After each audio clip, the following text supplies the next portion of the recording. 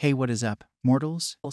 It is Robo Celestial here with a new video for you. Welcome to What If Deku Had Perfect Combo Part 1. I just wanted to greet you guys by just saying, Sit back and relax, you're in for a treat. So, we begin. This will be another new What If series called What If Deku had a perfect combination of his parents' quirks, which, as you can guess, means that we'll be exploring the idea of Izuku being born with a quirk that takes elements of his parents' quirks and puts them together, along with a few new things about quirks that we've learned to make a unique quirk that is a combination of his parents' abilities. But before we get into the specifics about Izuku's quirk, let's go ahead and get into the story itself. Now, we don't need to change much in the beginning except that Izuku is born with a single joint in his pinky toe because he was actually born with a quirk. But his life pretty much remains the same up until one day at school about a week after Bakugo developed his quirk.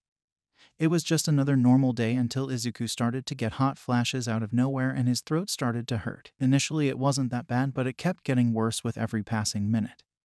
Eventually, Izuku goes to the teacher saying that he didn't feel good, so the teacher checked his temperature. After that, the teacher gives Izuku some water and calls his mom to pick him up, but right after the call, Izuku starts coughing profusely, and with each cough, he gets hotter and hotter when he suddenly breaths a bit of green fire out of his mouth, accidentally catching a chair on fire. As this happens, everyone starts to panic, and when the teacher goes to get a fire extinguisher, Izuku falls back onto a rug with his hands heating up, setting it on fire as well. Needless to say, this makes things worse, causing teachers to start evacuating the school, but before the green flames spread too far, Izuku puts a hand out as he's backing away, causing the fire to stop spreading. Izuku notices this and puts both his hands up and yells, Go back which causes the flames to shrink and go back to the spots where they started. This gives a few teachers the chance to use extinguishers to finally put out the fires. After this, Izuku's mom arrives to the school at about the same time as emergency services do. Once everyone calms down and explains what happened, a police officer walks up to Inko saying, It seems your son's quirk has awoken and caused quite a bit of havoc here, but don't worry since this was clearly an accident, no charges will be pressed. You must take him to a doctor right away to learn more about his quirk and ensure he doesn't accidentally hurt anyone. Inko nods in agreement and goes into an ambulance with Izuku to a hospital. After they arrive to the hospital, Inko and Izuku are taken to a special room where a doctor is waiting for them.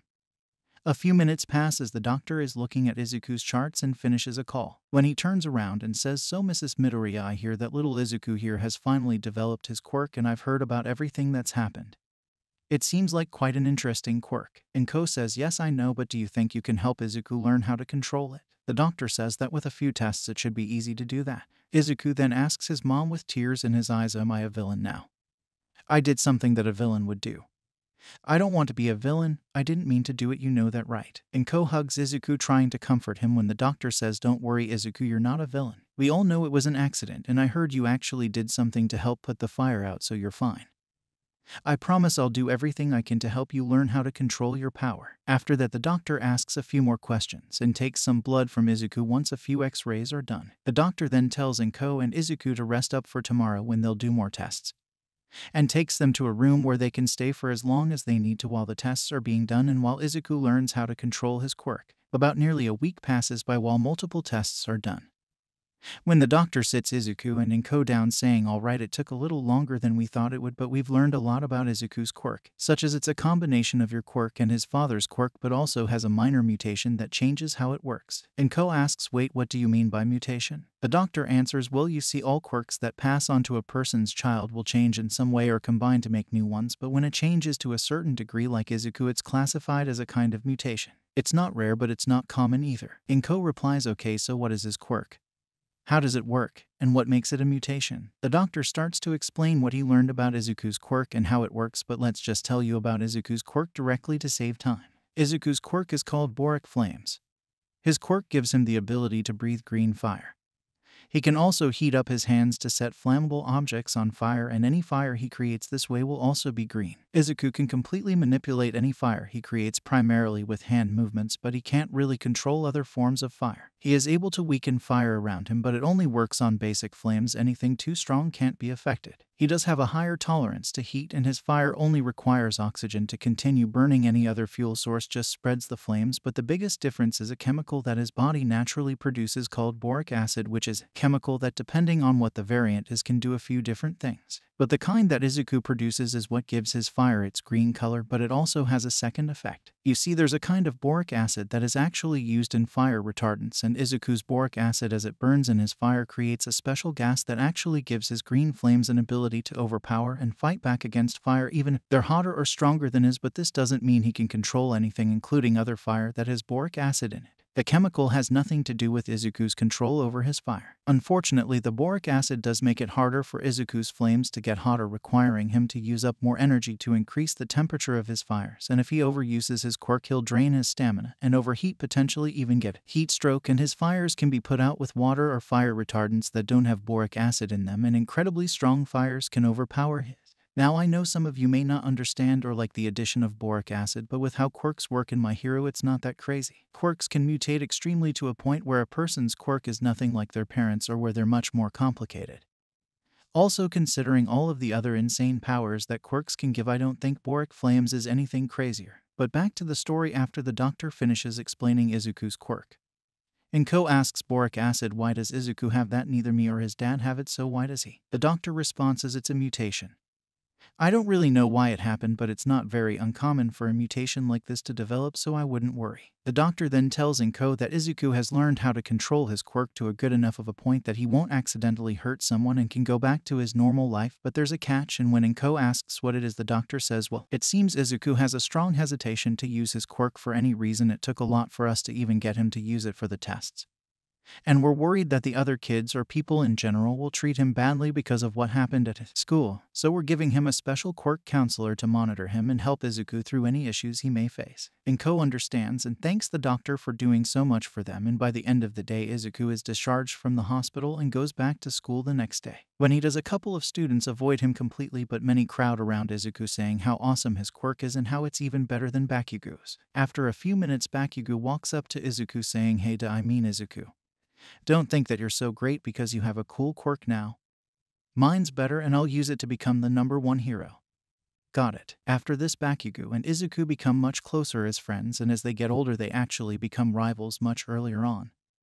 Thanks to Izuku's counselor and Bakugo, Izuku isn't as worried about using his quirk and has really good control over it, though he doesn't really like using it on people and is very cautious about using it. Also, Izuku is no longer called Deku, he's called Ryu, which means dragon and is used during friendly banter between Izuku and Bakugo.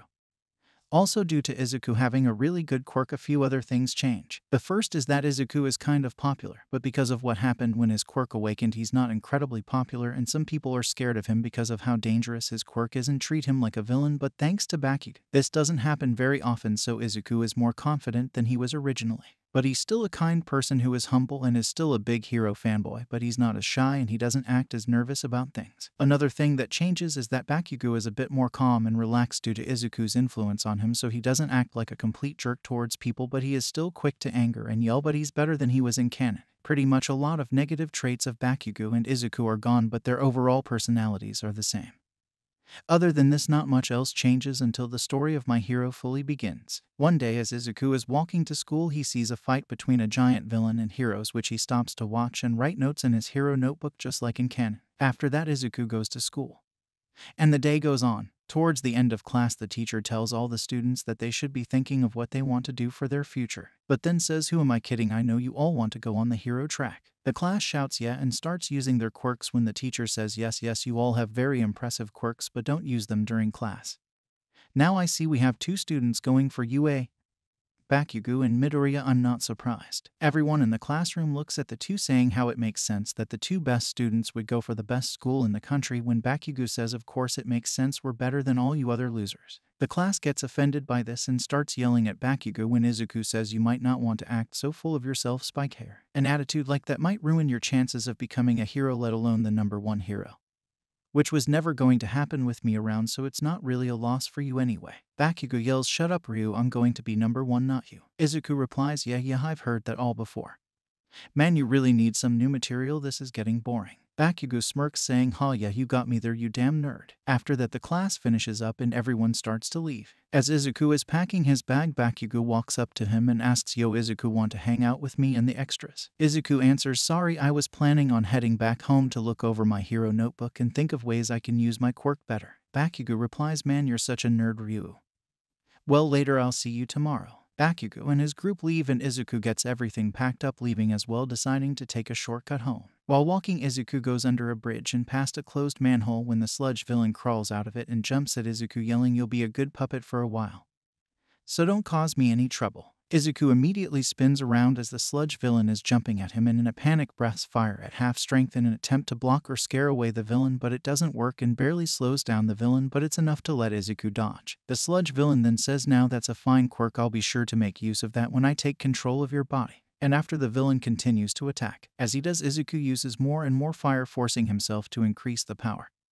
But all it's doing is helping him to evade the attacks and hurt the villain slightly, but that's all Izuku can do until after the fifth fire breath attack where he gathers all the remaining flames that he shot at the villain into one massive fireball for a powerful attack, and as he does this All Might jumps out of the manhole and sees the fight going on, being pretty surprised to see such a large fireball made right before his very eyes.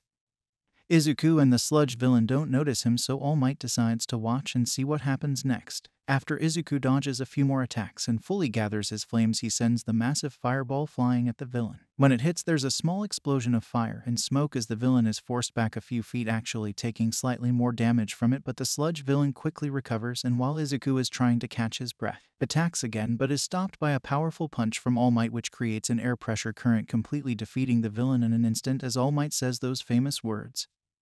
I am here. After the villain is defeated, Izuku immediately starts to fanboy out, asking All Might a ton of questions, and to sign his notebook when All Might says, Young man, I'm always happy to meet a fan, but I have to gather up this villain so I can turn him into the police, so I can't really talk until I do. After All Might says this, Izuku grabs an empty bottle and offers to help, which All Might is happy to accept, and thanks to the extra help, the sludge villain is fully captured faster than he was originally, giving All Might more time to talk to Izuku.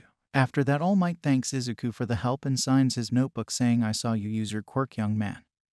In most cases, that's illegal, especially for dangerous quirks like yours. However, since you needed to defend yourself, you won't get in trouble, but I'll admit you had great control over it. I'm very impressed. Izuku replies, Thanks, All Might, but I didn't always have such good control over my quirk. In fact, I almost burnt down an entire building when it awoken, and some people still look at me in a bad way because of it. After Izuku says that there's a little moment of silence until Izuku asks All Might, I've been wondering, could I become a great hero like you even with a quirk that's as dangerous as mine, and even if some people look at me like I'm a villain, can I still do good? All Might looks at Izuku and say, Young man, after what I saw, I think you can be a great hero. Don't let what happened in the past or what people think of you keep you from helping others. You're not a villain, don't ever think that. If you're really worried about your control on your quirk, then train your body and mind to handle it better.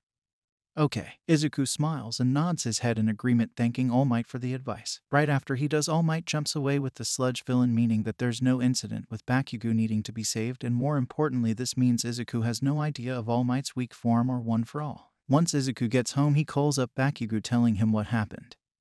After a small conversation and yelling by Bakugo, Izuku comes up with plans for the two of them to train together for the UA entrance exam which didn't take much to convince Bakugo to do because it gives him a chance to see where Izuku is with his quirk and it will help himself to get stronger as well. Like stated before, while Bakugo is a little more chill, he's still very competitive especially with Izuku so he will still be a little selfish sometimes. Moving on after a few days of searching, Izuku finds a beach full of trash that would be perfect for training but due to Izuku's and Bakugo's quirks being so dangerous they initially initially can't use them and mostly focus on building up their physical strength.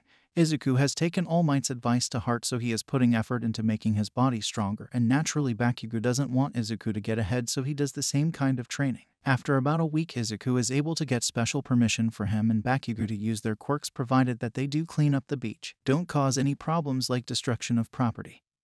And as long as they are watched by an officer or pro hero. And with that, the remaining 10 months of training fully begins. Thank you all for sticking around, and I hope that you enjoyed. Before you leave, we would just like to let you know that We the Celestials has many other channels for your entertainment and viewing purposes. All the information you'll need is right below here in the description. So feel free to check out all the other incredible projects our team creates. Secondly, on behalf of We the Celestials, I'd like to thank everyone involved in the production of today's awesome content. Their details will be in the description below. That's all for today's video. So goodbye and have a divine day.